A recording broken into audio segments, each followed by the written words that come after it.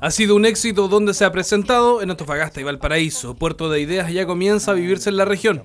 La iniciativa fue lanzada el 4 de agosto en la Pinacoteca de la UDEC, donde el arte, la cultura, ciencias e innovación dicen presente. La organización está muy contenta con la recepción de las personas de la región. Muy contentos de que estemos finalmente en el Biobío. Nosotros, esto es un proyecto que lleva más de cuatro años y por los diferentes motivos que sabemos, eh, bueno, no se pudo y finalmente estamos eh, llegando aquí, así que muy interesante muchas instituciones que están colaborando, mucho público que se está interesando para participar. Dentro de las actividades principales está el Festival de Cine de Talcahuano. Conversamos con uno de los jurados y reconocido a nivel mundial por su trabajo fotográfico y documental del océano.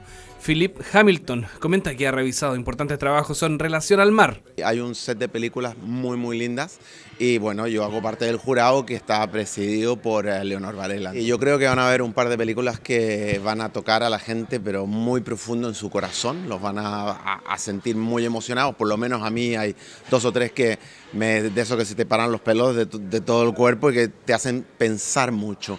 Aquí los ecosistemas marinos son parte clave del puerto de Ideas Bio, que es realizado con el apoyo de la Universidad de Concepción, el gobierno regional y la empresa privada.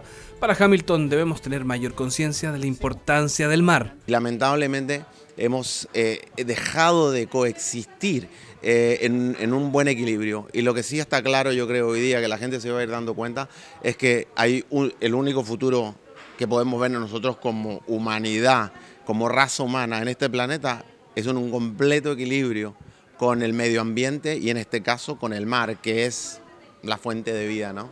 Una serie de actividades para toda la familia de forma presencial. Por ejemplo, este sábado a las 20 horas en el Teatro Bio Bio, La Tierra Inquieta, lectura dramatizada que rememora los encuentros de Concepción organizados en 1958 y 1962 por el escritor y poeta Gonzalo Rojas.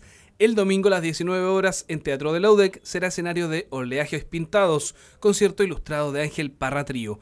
Para el Festival de Cine en Teatro Dante y las diversas actividades, más info en www.puertodeideas.cl.